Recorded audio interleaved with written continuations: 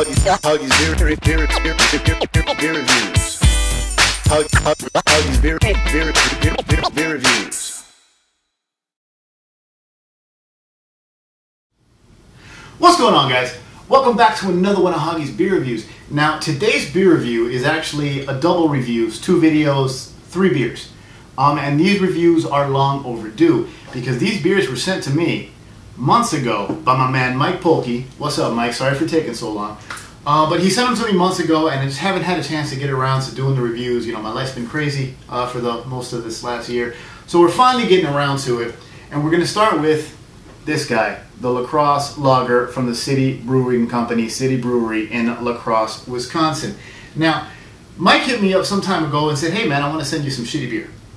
Uh, but the main reason he wanted to send me this beer and you know check out my take on this beer is because the rumor is, and I couldn't find any concrete evidence online. I googled it, I tried, I looked, but nothing concrete came up. But the rumor is, the Lacrosse Lager is being brewed with the old old style recipe.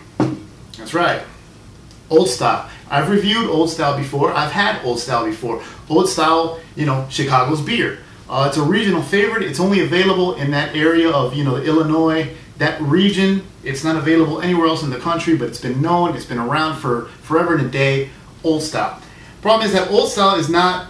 A lot of people might tell you old style is not being brewed with the same recipe. It's, it doesn't taste like it did before. They've changed the recipe, and word is that Lacrosse is now brewing their beer with the old old style recipe. So this is the new old style and this is the old old style, supposedly. So Mike was kind enough to send me a four pack of Lacrosse Lager so I could check it out and a couple old styles to be able to do a side by side comparison and that's what we're gonna do. He did send me another craft beer from a regional uh, regional brewery, which is going to be the next video, so stay tuned for that. Um, for those, uh, I, I, I want to get the name right because it's one of those. It's the uh, Kiwina or Kuwina Brewing Company. He sent me their Red Jacket Amber Ale. It's still in the fridge. We'll do that in the next video. Um, so back to lacrosse. And we're going to crack open the lacrosse first. We're going to check it out, and then we'll pop open the old style and kind of do a comparison. But uh, checking out the lacrosse. On Beer Advocate, Lacrosse Lager only has 63 ratings, scores of 71, categorized as an American adjunct lager at 4.8% alcohol by, uh, by volume. Okay, uh, rate beer, same thing. Uh, This is regional, this does not have widespread distribution, so you're not going to get a lot of reviews online. Um, right now on Rate Beer, it's got 101 total ratings, scores of 15 overall, categorized as a pale lager, doesn't say the ABV. So not a lot of information online about the lacrosse lager. So there's not much else to say really, except thank you, Mike, and I do apologize for taking so long, but here's the reviews, here's the videos, and off we go. Lacrosse lager. Crack that open, and uh, got my Hurricane Wings class. This is the thick, heavy duty one. Shouts out to my buddy Howard up at the Hurricane Wings in Vero Beach, Florida. Let's pour in some lacrosse lager. All right, that's a nice pour, wouldn't you say? One more time. Check it out. That's the can. It says brewed, double brewed with pure artisan water. Clean, smooth finish, lacrosse lager, fully krausened. See, supposedly the original old style was krausened, then they stopped krausening it, then they started krausening it, krausening it, krausening it again, and I think they stopped now because the new can says nothing about the krausening. So I don't know. And that's like a brewing procedure, I think, where they leave it like I forgot what the procedure is. I think they leave like the uh, they leave the the barrel open to the elements, and it kind of affects it somehow. I forget. I honestly forgive me for not doing my research, but it's something like that. If you want to know more, Google is your friend. Anyway, we'll put this guy right there in the background. There you go. And uh, let's see. Now you know this is going to be a typical, you know, clean, clear pale adjunct lager, you know, fizzy, fizzy yellow beer. I can see right through it. It's super filtered. I can see myself in the camera through it. Um, and putting it up to the light, it's really, really pale. It's probably a, a, like a hair or two darker than like a Bud Light, you know what I mean? But it's still a very pale beer. The head is pop fizzy, but a little bit of it is sticking around. smells like your standard adjunct lager, corn notes, corn cooked veggie kind of thing. Hint of like a, maybe like a lemony, lemongrassy kind of hot bitterness, but I mean it's it's it's a hint. And not much else going on. For what it is, it, it smells good. It looks halfway decent. So to everybody in Wisconsin and in that cold ass northeastern area of all my buddies up there with the cheese and the you know the Milwaukee and the Wisconsin and the Green Bay Packers and, and, and the Scandinavian descent. Cheers, people. God love you. Let's see what lacrosse uh, lacrosse's lager is all about.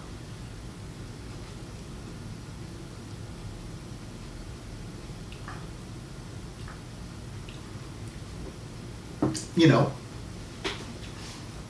it's thin, it's watery. There's not a lot going on, but it actually has a nice little bit of malt sweetness across the front.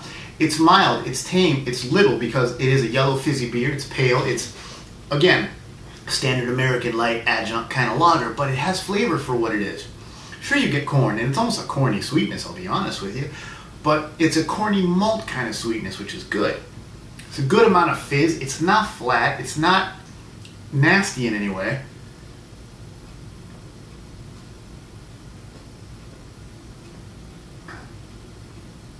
And you do get a little bit mild hint of like a lemongrassy bitterness towards the finish. Mild, not a lot of hops. You know, obviously it's not going to be a bitter finish.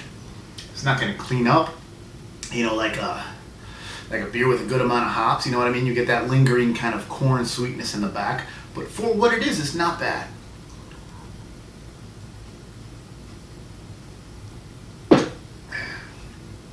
If I had to pick between, say, Keystone or Busch, and then something like this, I'll go with this.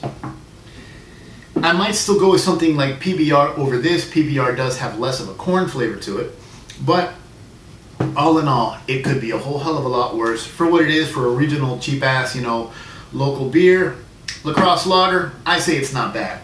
I won't rate it because it, it's still a, an adjunct lager, but not bad at all. Now, time for comparison.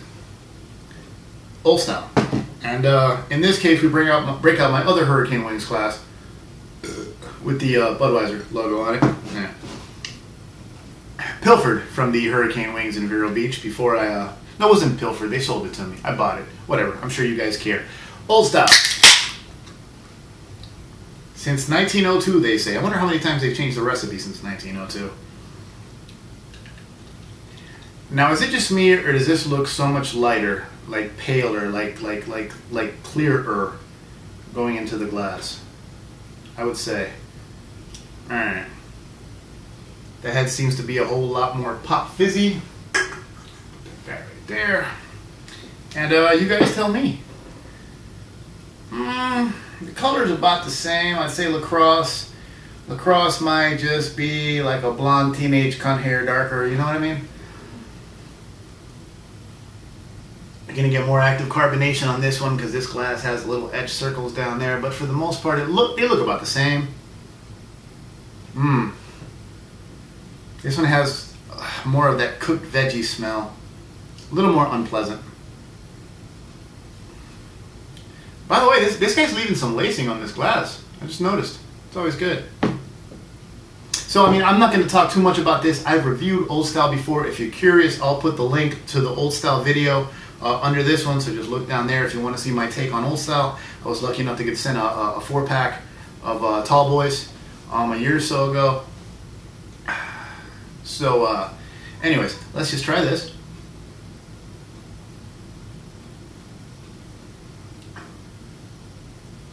Sharper. Not as sweet.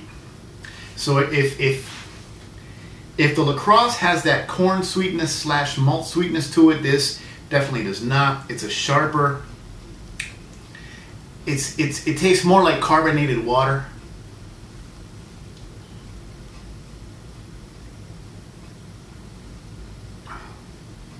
Yeah, this definitely tastes more like carbonated water. Back to the lacrosse.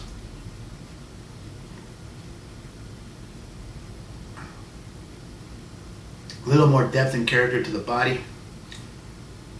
It tastes more like a lager. Tastes more like a Euro pale lager. This tastes more like fizzy corn water with very little corn. So, um, if Lacrosse Lager, these are my final thoughts here. Let me just sum this up. If Lacrosse Lager is using the old old style recipe, then the current old style is not. These beers do not taste the same whatsoever. Yes, they are similar, basically the same style, and probably someone who doesn't know much about beer will think they taste the same, but I'm telling you, it ain't the same beer. So, for those who remember the original old style and think that this current incarnation is not the same recipe, then try Lacrosse. You might find it to be the beer you remember because they're not the same. If I had to pick between the two, I'd go with Lacrosse. Uh, now, if I had just like cut the grass or if I had been working out or playing ball or something and I was just, you know, parched and I just needed 12 ounces of cold fizzy liquid to chug, I could go either way. If I'm going to sit down watching the game or maybe washing down some wings, Lacrosse all the way. Definitely the better beer.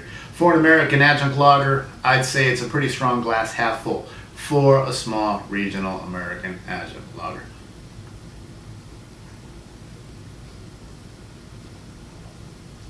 And to be fair, the old style is still better than Busch.